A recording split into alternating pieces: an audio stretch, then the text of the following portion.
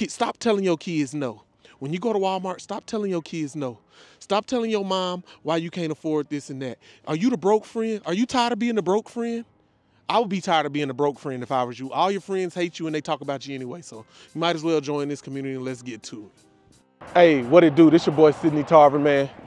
From the NFL to corporate America to owning people first logistics, man. I'm here teaching you entrepreneurship. From the gridiron to the highways, I'm gonna give you inspiration and success one mile at a time. Let's get it. that was kind of good though, I ain't gonna lie. You can't play in a movie better than this. But how to structure the trucking business, I think that is what it is. I preach this all the time. You got to get the thought in your head. What kind of business do you want? I want a trucking business. So how to structure your trucking business? What city are you in? Start researching the market where you're at market research. What are you in? Do you want to do box trucks? Do you want to do cargo vans? Do you want to drive 18 wheelers? What's lane of truck do you want to do hot shot? First, you need to find your niche within the trucking industry. Do you want to drive gas trucks, oil tankers, hazmat? As you know, the trucking industry is probably a hundred different ways to do trucking. You understand me? So you got to get in your mind, do your market research, see what you kind of want to do with it. You know what I mean? Then once you do all your market research, you gotta find where your who, when, and why. Why do you, first of all, why do you even wanna do truck? What do you wanna be a truck driver for? We need to do that. If you know a truck drive it's a lot of hours on the road, city to city, state to state, a lot of zip codes. If you're a local person, you probably won't. If you got a family, this is probably not for you. If you got kids and family at home, it's gonna be a lot of lonely nights when you're on that road. Nobody coming to save you. So make sure when you get in the truck and this is what you really wanna do. I just wanna say thank you to Cindy because I was in college and just about to graduate and I was looking for something to do. So if you're thinking about taking the program or buying the course, just do it. Like that's all I gotta say. $9 is not gonna affect you. So just think about it hard or book the call and I promise he'll convince you and help you with any problems you have. I didn't have to go work this office job that was paying 67,000 a year plus some benefits. I am forever thankful because I knew that I did not want to go work an office job for some trucking company out of college. So I found Sidney on YouTube and I took advantage and watched all his videos and then finally I booked a call and he's the one who changed my mind that I gotta start something on my own or I'm forever gonna be stuck in an office and that's not what I wanted. So I wanted to do Amazon DSP but I didn't end up doing that because it just wasn't right for me at the time but he did help me start a trucking company and um, I got three sprinters rented, cost me barely anything up front, and then he got me some contracts with some load boards. I'm doing good right now. Soon I'm gonna surpass what I'd be making if I were to take the office job, and obviously I didn't do that right away, but it's gonna happen soon, and I know one day I'll be up there with 50 trucks. Yeah, let me tell you a story. When I first started my Amazon DSP, I had to do my research. You understand me? let me do that again. That was fun. They gave me a few options. Oh, that almost killed me they gave me the option between Sonoma, California, Arkansas, Tulsa, Oklahoma, or Buffalo, New York.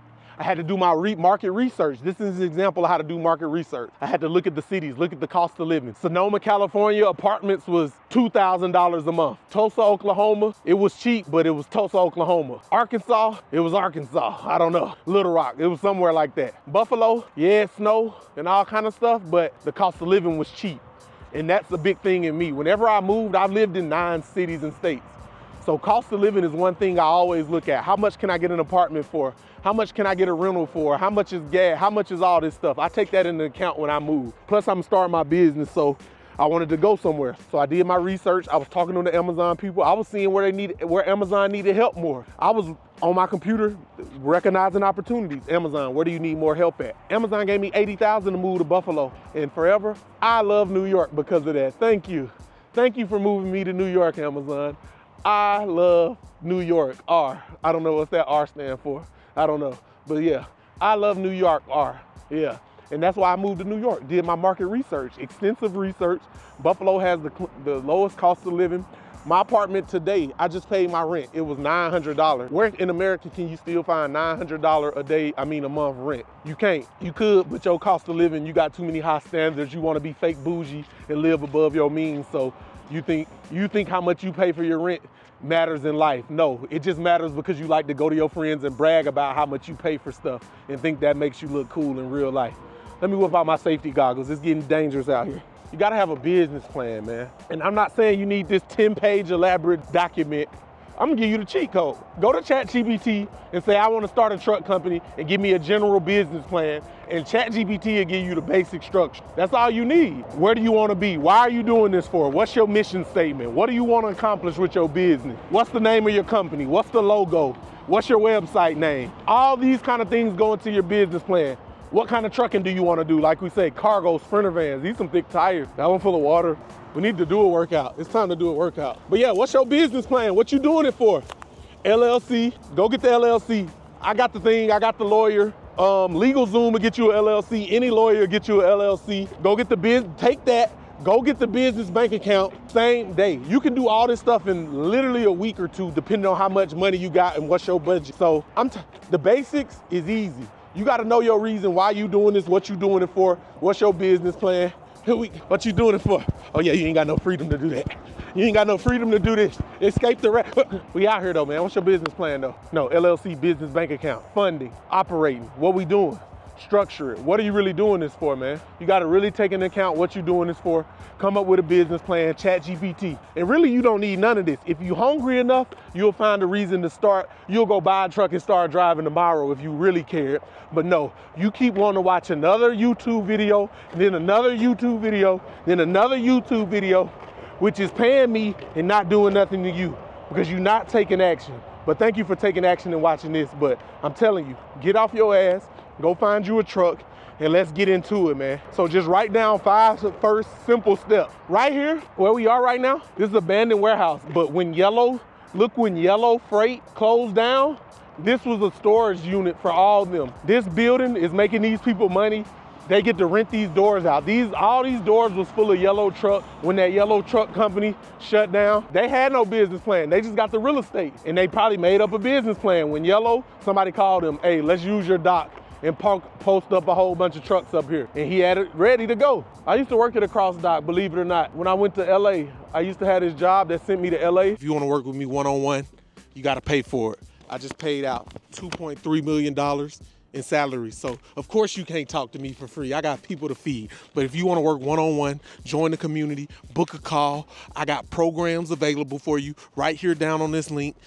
I got books. I got stuff for everybody in price ranges. Even if you don't got no money, just check out a YouTube video, share, subscribe, do all that. I'm giving out the game step by step. If you want to work with me one on one, DSP Mastery, master your mind. Let's get it. That's what we own. That's what we doing full trucking company startup, but you gotta pay. So hit me in the People First community, DM me on there, reach out to me, and let's get to working. In South Gate, California, and it was a cross dock, but it didn't even like this building wasn't, it was just open in a roof, kind of like a sports complex thing if you ever been to one of those. Your things, like you said, your LLC, you gotta have your DOT number, you gotta have your MC number, you have to have all the certifications that come along with earning the truck company. You know what I'm saying? They got these new Rivians over here. They got to get them permitted up. You know what I'm saying? Charged up every each and every day. We need to get some of these to our section, man. These bolted up over here though. He got a good music playing. Rivian, we in here. Funding, another thing, funding. When people have questions about funding, you just got to get to the money. You either save your money. It's ways to get money. A lot of people let money handicap them from doing what they want to do in life. Ask a friend, ask a parent work your job, sell a product. You gotta hustle to get the money up. All people complain about is, my job doesn't pay me that much money. How do you sound complaining for a job that you knew you signed up for? How they told you how much you make when you signed up. Your job told you how much money you was gonna make when you signed up and you still complain that i don't make enough money. Look at them birds over there bird watching. You you're an idiot. Nobody feels sorry for you when you complain about the money that you make at a job you signed up for. I promise you nobody feels sorry for you people are probably looking at you like you pitiful. You can only go hang out with other losers who complain about how much money they got. Take action. Get you a side hustle. It's so much stuff you can do. Flip a car, flip a house, sell some digital products, make a course, make a book. It's so many ways to get your money up while still use the money from your current job to invest into your future and what you want to do. You probably spend all your money on alcohol clubs and stuff that don't make you no more money. Start spending the money from your job on stuff that's to make you more money instead of spending on stuff that's not gonna make you any money. You spending it on girls who don't like you. You you on OnlyFans all day buying a lot of accounts, talking to internet women that don't even know you exist. Go to your local credit union, go to your local bank, sell your car, sell your house.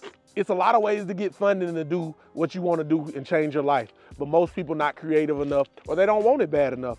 Just say you don't want it bad enough. Don't say you don't have enough money. Say you don't want it bad enough to be successful and go to the next level.